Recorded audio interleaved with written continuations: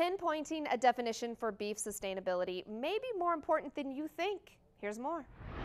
One big topic in the cattle business right now is the word sustainable and sustainable beef. And uh, we're going to get some answers here.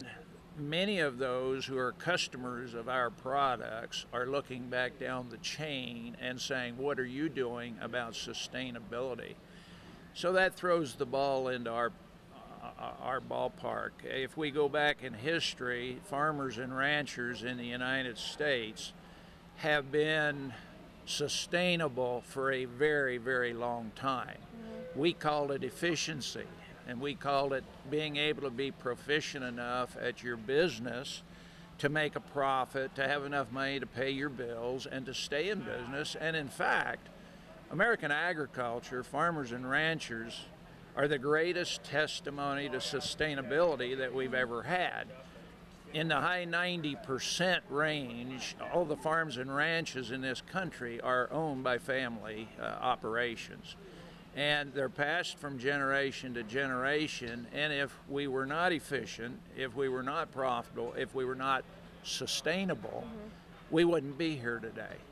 So, right now, the deal is it's almost like certain groups, certain people are trying to turn the words around and twist them around here a little bit. McDonald's, for instance, they are starting this kick on on wanting only sustainable beef, and they're telling consumers your beef's going to be sustainable. But it's kind of just subject to definition. There really isn't a defining sustainability on the consumer end. Uh, you're you're absolutely right. Uh, sustainability, as it's being thrown around. Uh, in society. To sustain, sustainability, if you ask 10 different individuals, would be defined in 10 different ways. And I would dare say that even McDonald's do not know completely what they mean by defining sustainability. Starting about 2011, Kim Stackhouse Lawson has become the director of sustainability for the National Cattlemen's Beef Association. And she, along with a committee of very dedicated people, have taken data from the U.S. Meat Animal Research Center at Clay Center, Nebraska, as well as stakeholders from the industry packers, processors, retailers, food service. What that showed is in the last six years, in this life cycle assessment, that the beef cattle industry has improved its environmental and social imprint by 7% just in the last six years. That's a lot, really. That's huge. It's due to more efficient use of water. Uh, it's due to energy uses. For instance, the study showed, as a sidebar, that 60% of the energy used in packing industry today across this land is the result of recycling of biogas within within that industry. So that's a very, very big deal. Uh, in addition to that 7%, there's less greenhouse gas emissions, there's less use of energy.